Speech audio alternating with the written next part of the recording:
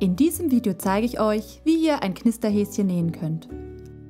Und so könnte es aussehen.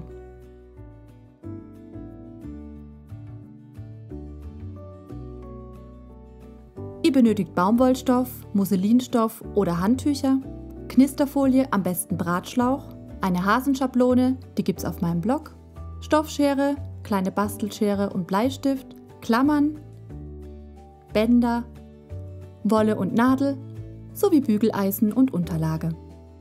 Ihr bügelt euch euren gewaschenen Baumwollstoff und legt euch diesen mit dem Handtuch bereit. Nun zeichnet ihr auf der linken Stoffseite die Schablone ab.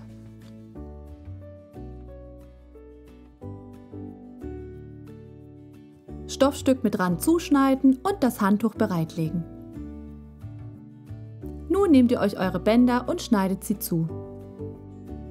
Ihr legt die Bänder mit der geschlossenen Seite nach innen an die Position, die ihr gerne hättet, zum Beispiel an den Bauch oder an die Ohren.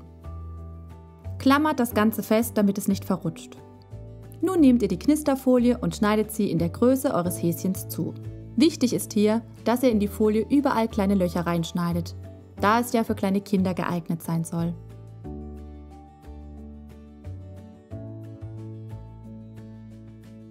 Nun auch diese befestigen und an der Linie einmal außen herum nähen.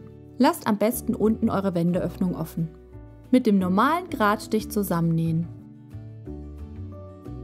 Über die Stelle, wo die Bänder liegen, am besten ein- bis zweimal drüber nähen, damit es besser hält.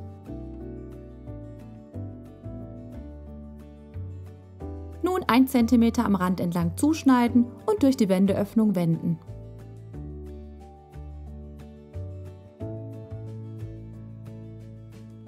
Am Schluss diese mit der Nähmaschine oder mit einem Matratzenstich zunähen. Fertig ist euer Knisterhäschen. Ihr könnt aber euer Stoffstück auch noch besticken. Hier habe ich einfach ein müde Augenmotiv darauf gestickt.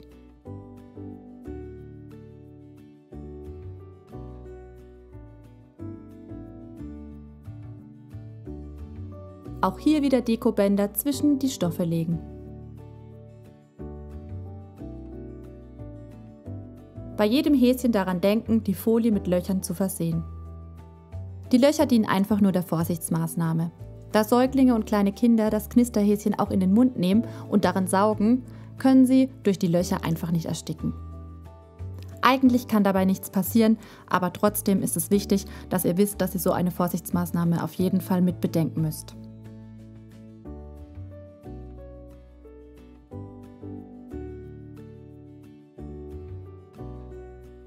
Zusammennähen, wenden, ausbeulen, zunähen und wer will, noch einen Rand drumherum nähen.